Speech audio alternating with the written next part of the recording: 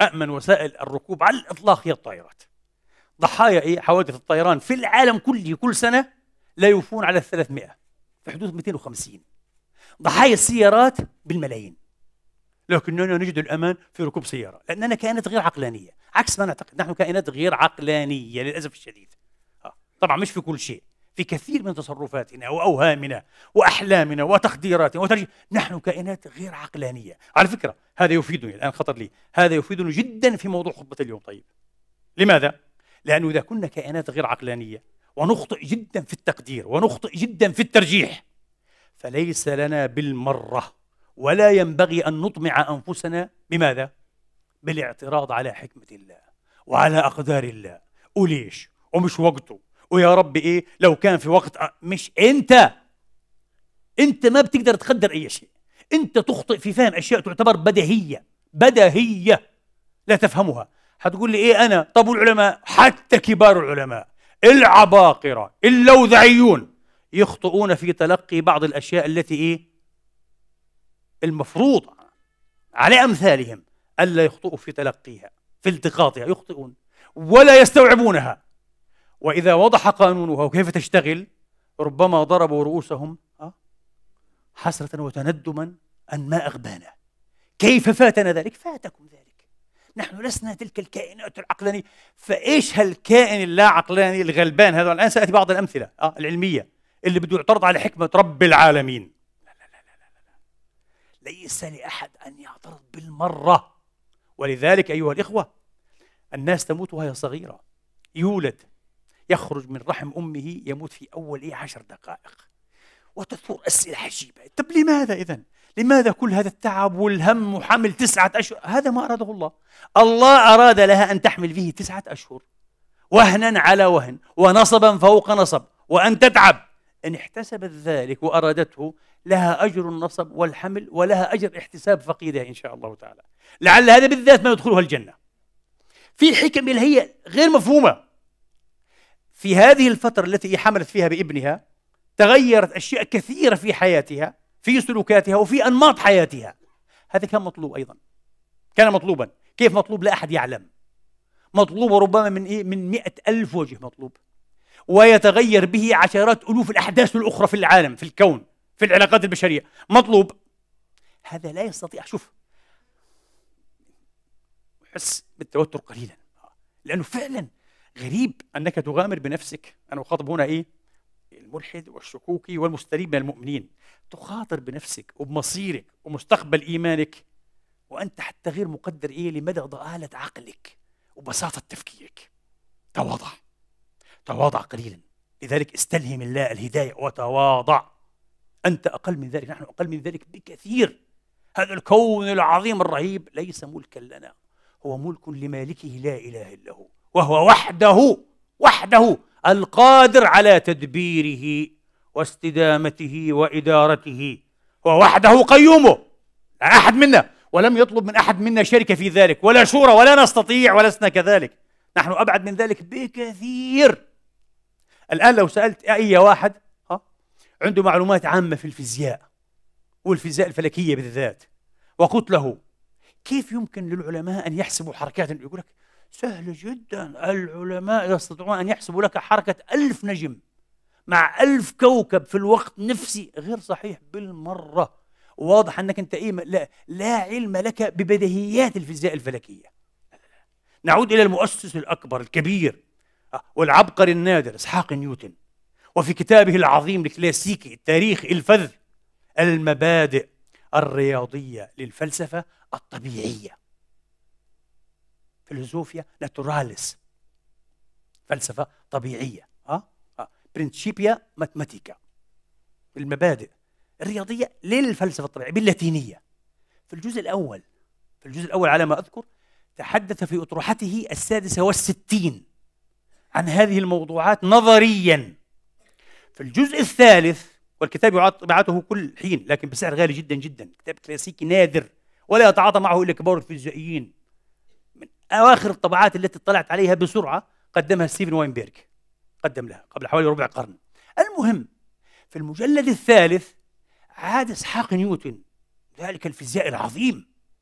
وواضع إيه؟ حساب التفاضل والتكامل. هو وضع هذا الحساب أصلا. وهذا هو المطلوب في هذه المسائل بالذات حساب التفاضل والتكامل. عاد لكي يختبر النظرية تطبيقيا.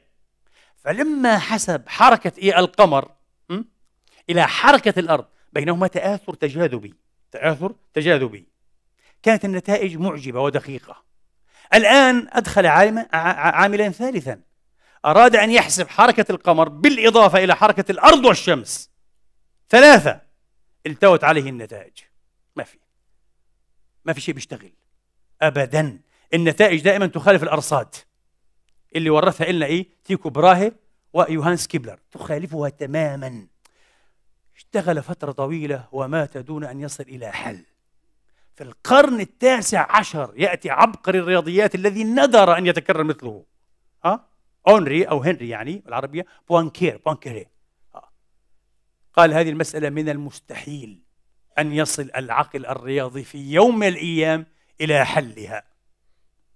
جبريا كذا مستحيل. مسألة قال هذه أصبحت dilemma. معضلة. وتسمى مشكلة أو معضلة الأجسام الثلاثة. 3 body 3 body problem مشكلة الأجسام الثلاثة. حتقول لي إيه؟ و2019 نعم. هذا حل مبدئي جميل أجمل من لا شيء أضاف. قام به فريق من العباقرة والعلماء على رأسهم إيه؟ أعتقد إيه؟ ريتشارد ستون. ولكن لم يكن حلا نهائيا وشاملا. لا تزال المعضلة قائمة. مجرد أن تحسب أنت حركة ثلاثة أجسام متآثرة جذبيا في الزمان مكان أو في الزمان إيه؟ المكان مسألة تعجز العقل البشري. انتبه الآن. مع أن الثلاثة الأجسام شمس قمر إيه؟ وأرض. أجسام إيه؟ سماوية أجسام فضائية. ماذا يعني؟ يعني تخضع لقانون مضطرد. تخضع لحساب رياضي. ليس لها حرية. ليس لها مزاج. كيف لو أدخلنا في الموضوع إيه؟ العامل البشري بحريته بمزاجه باختياراته بتقلباته بتفضيلاته؟ ونريد أن ننسق. ننسق ماذا؟ لا تستطيع أن تنسق أي شيء. لكن رب العالمين لا إله إلا هو وحده قادر على تنسيق وترتيب. ولا أقول حساب بل هو عالم. هذا موضوع إن شاء الله لابد أن نعقد فيه محاضرة.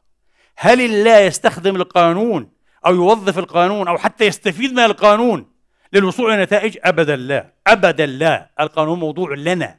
نحن فقط إيه؟ نستفيد منه من هذه الحيثية. أما هو لا. علم مختلف تماما. لا إله إلا هو.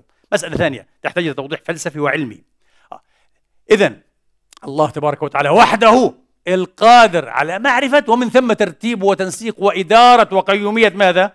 كل الخيارات والحركات والسلوكات وإن عدت بمليارات مليارات مليارات مليارات إلى انقطاع النفس.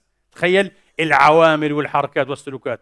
ينسقها كلها في وقت واحد وهو عالم بتأثير كل شيء في كل شيء.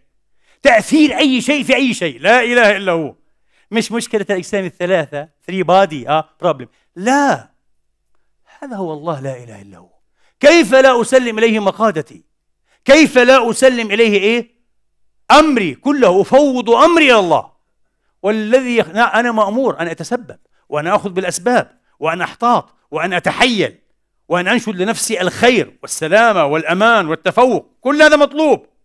لكن في نهاية المطاف ثقتي الكاملة والتامة والمطلقة ليست بعقلي ولا بأسبابي ولا بتدبيراتي. بالله وحده لا إله إلا هو. وأعلم أنه ما لم يضع قطرة توفيق جبال التدبير كلها تخيب حتقول لي وما بال الكفار أي يوفقهم. مسكين أنت.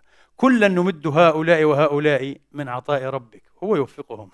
حتى لو لم يطلبوا وله حكم في توفيقهم لا إله إلا هو. له حكمة في توفيقهم. ثم هم يطلبون توفيقه لا بلسان المقال بل بلسان الحال بكيانيتهم. بوجودهم يسأله من في السماوات والأرض. كل يوم هو في شأن. نسأل الله أن يعرفنا به وأن يدلنا عليه وأن يعمق هذه المعرفة به آه، حتى تتغلغل في أعمق أعماق أعماق جذور نفوسنا. هذا هو الذي يريح وهذا الذي يفهم وهذا الذي أيضا يعزي في السراء والضراء في الخير والشر. آه. إزاء كل الأحداث. كل الأحداث كل المجريات هذا هو الذي يعزيه ويعطي الطمأنينة.